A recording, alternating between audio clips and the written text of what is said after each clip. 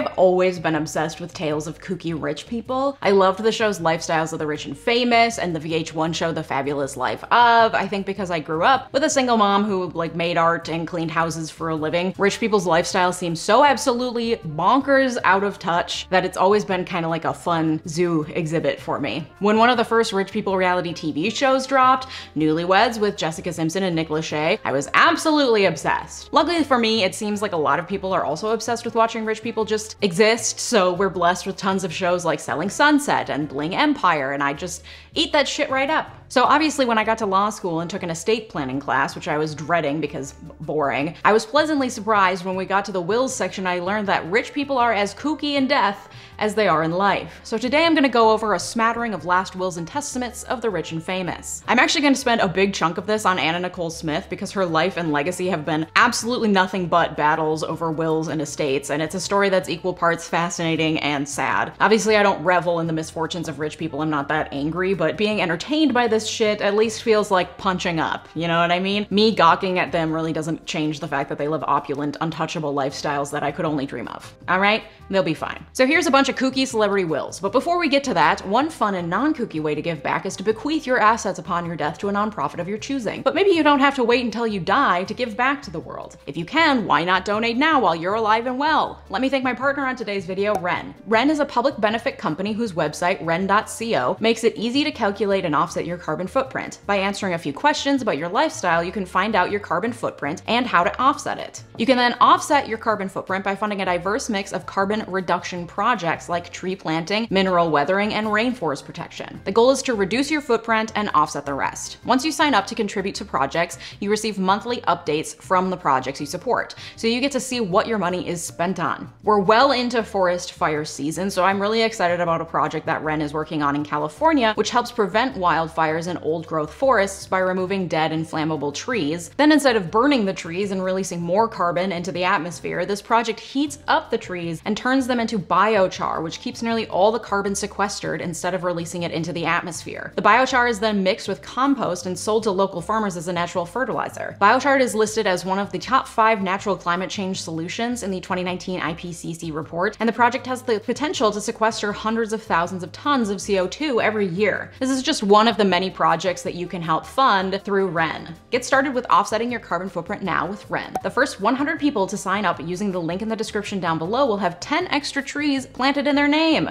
That's 1,000 trees. Check it out now at the link in the description below. Give back now before your worm food. Speaking of worm food, let's talk about dead celebrities and their weird and kooky wills. Okay, before we get into the dirty details, let's just talk about wills and estate planning, okay? It's not sexy, it's not thrilling, frankly, but it's important. Even if you don't have any assets, really. Each state defines the laws around wills and estate planning, plus there are federal tax laws as well. With estate planning, you work with a professional to figure out basically the best way to put your affairs in order so you pay the least amount of taxes, honestly. There are all sorts of nooks and crannies and loopholes with tax laws that an estate planning professional is going to know how to make sure that your assets are as shielded as possible from the tax man. One of the first things you learn about in your law school property class, though, is what's called dead hand control. Basically, as much as we do let the rich get away with a lot of tax evasion, we don't want one person to have control over their land forever. So there are rules in wills and estate planning that don't allow someone to control a piece of land forever. Like they can bequeath their land to their son, but they then can't say that that land must pass from son to son forever in perpetuity. It is in fact called the rule against perpetuities, and it is the bane of every law student's existence because it's complex and it's hard to know when something is breaking that rule. I'll save you the details, but just know that the law cares about not letting a single person control their property from beyond the grave forever.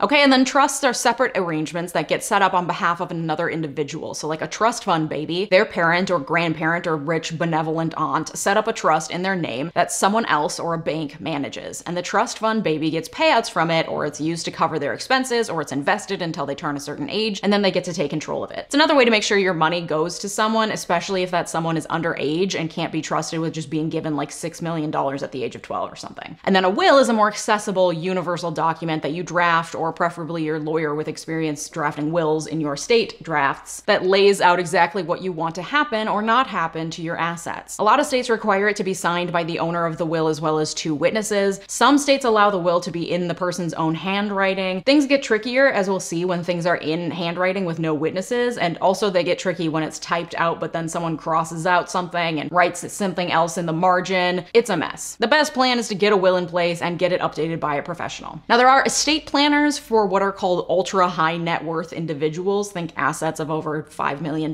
for example. But then there are smaller lawyers and law firms who can help you draft a basic will for far cheaper. There are even websites that purport to help you build your own will for free, and then there's like wills and estate planning for dummies books. If it were me personally, I would opt for a real human lawyer. You literally write the thing once and then forget it. You maybe update it every once in a while, like if you buy a house or have a child or get divorced or married. It's a pretty finite expense. And if you die without a will or with a will that's poorly or confusingly written, your family will be left to pick up the pieces, pay for the funeral expenses, and then figure out what to do with your shit. With a will, you get to dictate what happens to your shit, or you get to at least put any potential arguments at bay by telling your family members what you actually want to happen. So they're not left being like, well, he would have wanted me to get the boat, and she would have definitely wanted me to take the kids. Especially if you have kids, you gotta get your damn affairs in order, okay? This isn't even an ad. I'm not a wills or trusts and estates lawyer. Thank God. I just think it's very practical, and I've seen what can happen when a dead person's property gets stuck in probate court, creating a long, strung out battle over assets. Even if you don't have many assets, the ones that you do have will still get caught up in probate court to figure out what the hell to do with them, and it's much faster and easier for your loved ones to deal with your death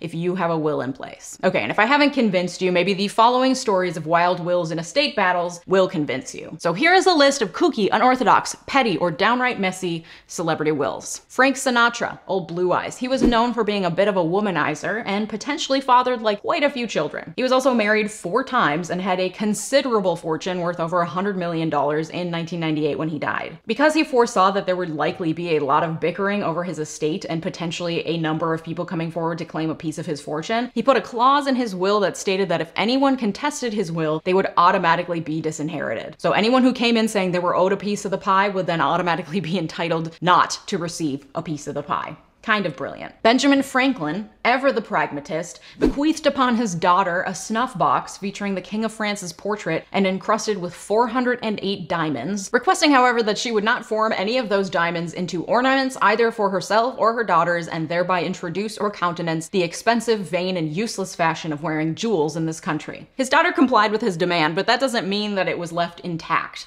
She removed the entire outer ring of diamonds to fund a trip to France. The box then passed from mother to daughter daughter and subsequent generations took more of the diamonds to finance projects and trips, and by the mid 20th century, only one diamond remained, though a number of them have somehow found their way back to the box. And it's now in the hands of the American Philosophical Society. Harry Houdini, the famed magician and escape artist, left a very detailed will, which included a very petty clause that specifically excluded a woman named Sadie Weiss from his estate and made very clear that Harry did not like Sadie. You see, Sadie was Harry Houdini's sister in law, twice. She first married his brother Nathan, whom she divorced, and then 10 days after divorcing Nathan, she married his younger brother Leopold. Scandalous. Related to Houdini, I didn't see that this was actually written in his will, but he had an agreement with his wife that whoever died first, the other would hold a seance every year to communicate with the other from the grave. And they had a secret code that they would communicate from beyond the grave so that they would know it was really the other person. Houdini died Halloween night 1926 of a ruptured appendix. Every year after that, Bess, his wife, held a seance on Halloween night to try to communicate with him. She did that for 10 years with no luck. The final seance was held in 1936 on the roof of the Knickerbocker Hotel in LA. Bess admitted that she had never received the message from Houdini. After Bess quit the seances, the magic fraternity took up the practice, and unfortunately, no contact has ever been made with Houdini from beyond the grave. Janis Joplin left $2,500 to throw a posthumous all night party for 200 people at her favorite California pub. Charles Dickens wanted a modest burial, but bequeathed 1,000 pounds to a young actress rumored to be his mistress. The singer Dusty Springfield left a sum of money for her cat Nicholas with instructions that he must be fed imported American baby food, have recordings of her songs played for him at bedtime, and arranged a marriage for him with his guardian's cat. Alexander McQueen left his dogs $75,000. Leona Helmsley, the hotel baroness who was known for being rather tyrannical, was incredibly wealthy. Like she literally owned the Empire State Building. And while she apparently hated people, she loved loved dogs. When she died in 2007, she left $12 million to her dog. And Maltese named Trouble, while leaving only 10 million to her brother and 5 million to her grandson. A court later found that she was not mentally fit when she executed that will, and the sum for the dog was reduced to 2 million, which was enough to cover a full decade of the dog's care, including the annual $100,000 cost of full-time security for the dog, $8,000 for grooming, and $1,200 for food, with the dog's guardian receiving $60,000 per year as payment. William Randolph Hearst, who was quite the man about town, foresaw that there would be many claims on his estate from people alleging that they were his illegitimate child. He bequeathed $1 to anyone who could prove that they were his child. That's one way to deal with it. Farrah Fawcett left nothing to her longtime partner and the father of her child, but she did leave $100,000 to an ex-lover. And then there's Aretha Franklin. Did you know that she was nominated for a Grammy 44 times? Anyway, she died in 2018 with no official will in Michigan. Like I said, each state has their own laws about wills and what happens to property when you die, and in Michigan, since she died without a will, her considerable fortune was to pass equally to her four sons. However, as they were going through her stuff, they found handwritten notes that appeared to be Aretha's final wishes for her assets. In Michigan, as long as the will is signed and dated and in the dead person's handwriting, it counts. So they found a nearly illegible handwritten will from 2014 in which Aretha divided her fortune, worth many millions millions of dollars between her three youngest sons, saying that they were to check on the eldest son weekly and oversee his needs. Her eldest son has been diagnosed with mental illness and has lived in a series of assisted living facilities. So this created an even bigger issue because now, of course, the eldest son is in court contesting whether this nearly illegible handwritten note from 2014 is even valid. But then there were two other handwritten notes that looked like wills, one of which was found buried under couch cushions. And Clarence, her eldest son, his lawyer argues that none of the wills can be authenticated and that they're all all contain contradictory instructions or are illegible. Okay, but then in 2021, another will surfaced, this time just a draft without her signature, but it was drafted by lawyers and drawn up in 2018, the most recent draft and closest to her death. Theoretically, a final recording of her actual wishes, but it wasn't signed. It's unclear how this will affect the estate battle, but under Michigan law, it could be accepted as a valid will. In the most recent will, she created a trust for her son Clarence and split up most of the rest of her estate among her other three sons, and then gave some other money out to friends and family. As of late 2021, the battle over Aretha's estate was still ongoing, three full years after her death. All right, but that is nothing compared to Anna Nicole Smith. Now, she is unique because her life and death included not one, but two drawn out and ugly inheritance battles based on faulty wills. Let's get into the background. While performing at a Houston strip club in 1991, then 23 year old single mother Anna Nicole Smith, also known as Vicki Lynn Hogan, met 86 year old petroleum tycoon J. Howard Marshall. They hit it off, and he showered her with lavish gifts and asked her to marry him multiple times. And in 1994, they finally got married in Houston when she was 25 and he was 89. That's a 64 year age gap for those of you keeping track at home. And 13 months later, J. Howard Marshall died at the age of 90. And man, I bet the last few years of his life were real fun. God bless. Anyway, the problem was that he didn't update his will after they got married, and according to her, he had verbally promised her half of his estate, which was worth an estimated $1.6 billion, mostly from a 16% interest in Koch Industries. Should I become a Houston stripper? What am I doing here? Anyway, the beneficiary of Marshall's will was his son, E. Pierce Marshall, Anna Nicole Smith's stepson, technically. He was 56 at the time, she was 26. Anyway, she joined forces with Marshall's other son, Howard Marshall III, because he also wasn't listed in the will, but claimed that his father had verbally promised him a portion of the estate. You see, he was written out of his father's will after he tried to take control of Koch Industries. How very succession of him. You know what I mean? Okay, so Anna Nicole's husband dies in 1995, and his estate wound its way through probate court until the year 2000 when an LA bankruptcy judge awarded Anna $450 million, which was the amount that the value of her late husband's interest in Koch Industries rose just during the time of their 13 month marriage. But then that was appealed and overruled, awarding Anna Nicole with nothing and ordering her to pay $1 million in attorney's fees to her stepson Pierce. Then that got overturned, and Anna Nicole was awarded $88 million.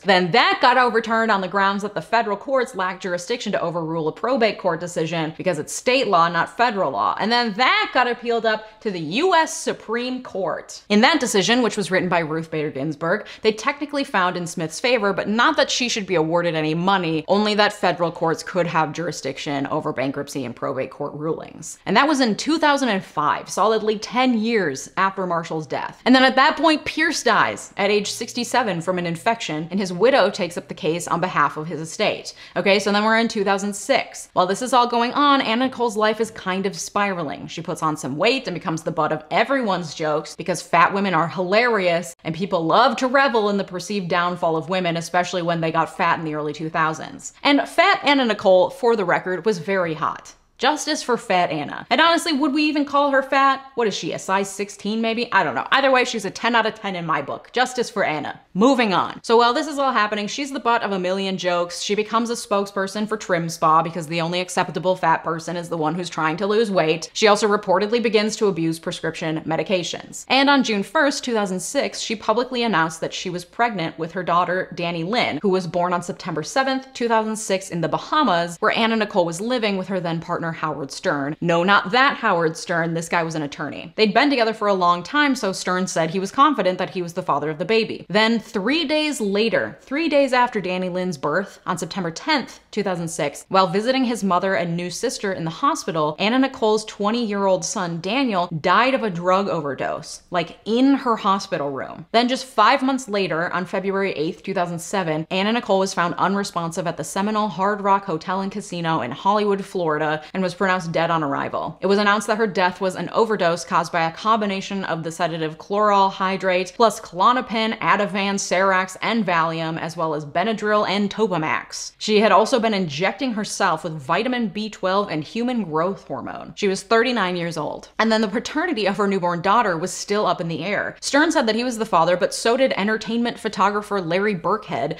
as did Zsa Zsa Gabor's husband Frederick Prince von Anhalt, who claimed to have had a decade long affair with Anna Nicole. Okay, but then also some guy named Alexander Denk, who was a former bodyguard and chef for Anna Nicole, claimed that he was the father. And then in April 2007, one month after Anna Nicole's death, the photographer Larry Birkhead was named the father of Anna Nicole's daughter, Dannielynn, after a DNA test. And the reason that this got so messy, oh yeah, what am I even doing here? Why am I making this video? Right, wills. So remember that ongoing battle over her dead husband's will? Yeah, that was still ongoing at the time of her death. So there was still that phantom $450 million award hanging in the air. And with the death of Daniel, they all probably assumed that Dannielynn became the sole heir to the fortune whenever it was finally decided. However, that was also complicated by the fact that when Anna Nicole died, she hadn't updated her will. So it named her dead son Daniel as the sole recipient of her estate and didn't name Dannielynn at all because she was just born and Anna Nicole died before she had a chance to update it. In fact, it not only didn't name Dannielynn, it also stated that Daniel was the only heir, excluding all other children, including those not yet born. So this required a separate court battle to determine whether the will was even valid. In some states, if a parent unintentionally omits a child from the will, the child can contest the validity of the will and potentially receive a share of the estate. But that was also complicated by the fact that Anna Nicole, at the time of her death, was arguably living in the Bahamas. Okay, so the court battle over Marshall's millions continued after Anna Nicole's death, with Pierce's widow taking on his battle, and Howard Stern, Anna Nicole's longtime partner, taking on the role of executor of her estate. Okay, and then rather unbelievably, the case made its way to the Supreme Court for a second time in 2011. Reminder that this case started in 1995. This time the case was before the court on the question of whether the bankruptcy court had constitutional authority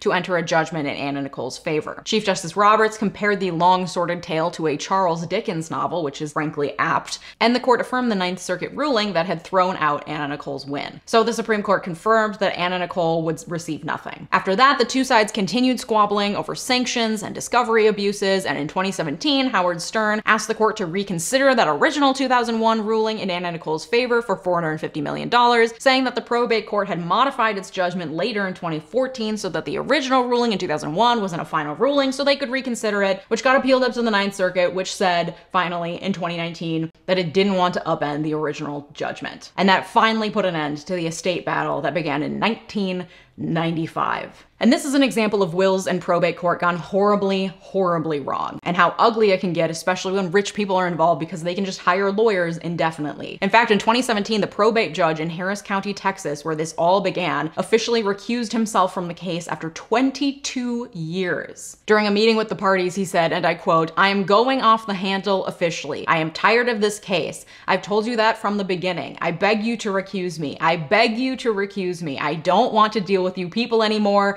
This is ridiculous. This is ridiculous. I am not going to spend a lot of time cutting at nits and gnats for people that are fighting over 20 billion, 10 billion dollars that they didn't earn. They didn't create this wealth. It was created by a third party and they're just fighting over it. They can't agree on anything. They can pay lots of lawyers. They can pay lawyers until hell freezes over. But they don't want to agree to anything. They just want to pay lawyers. You're going to have to figure out something to do because I just can't. I'm not going to deal with you anymore. I've had it. I have had it. This is outrageous. This didn't happen overnight. This wasn't done four years ago. Pierce has been dead nine years. It's just not the way I'm going to spend my life. End quote. And a week later, he recused himself from the case. He retired from the bench in 2018, and just for context, that judge was appointed to the bench in 1993. So this case spanned nearly the entirety of his whole career as a judge absolutely horrific. And then it was handed off to a new judge for the last few years of the case who had to take on the mammoth task of getting caught up in a 22 years long case. And I'm certain that there were many sad lawyers who had to handle these cases over the course of 24 years, either one sad lawyer who handled it for the entirety or a number of sad lawyers who had it handed off to them after 5, 10, 15 years and had to get caught up. I hate it. Oh, and Dannielynn was officially named heir to Anna Nicole's fortune in 2008 when she was 18 months old, and a trust was set up in her name. However, I saw conflicting reports as to how much Anna Nicole was actually even worth, especially since Anna Nicole not only didn't end up winning anything from her deceased husband, but also someone had to pay for 24 years of legal fees. But Dannielynn's dad, Larry, is still an entertainment photographer, and she is now 15 years old, looks strikingly like Anna Nicole, and her dad posts a lot of very dadly things about her her on his Instagram, which is really sweet. She seems to be living about as normal a life as could be expected after such a sordid and tragic beginning. And that's the tale of Anna Nicole Smith's 24 year estate battle, as well as the end of my list of wild, kooky, wacky, and petty celebrity wills. Thanks once again to my partner on today's video, Wren. Reminder that the first 100 people who sign up using the link in the description down below will have 10 extra trees planted in their name. That's a thousand trees. Check it out now at the link in the description down below. Thanks, Wren. And if you liked this video, you might also like this other video that I made all about Dr. Dre's divorce. Thanks so much for watching. Have a great day. Bye-bye.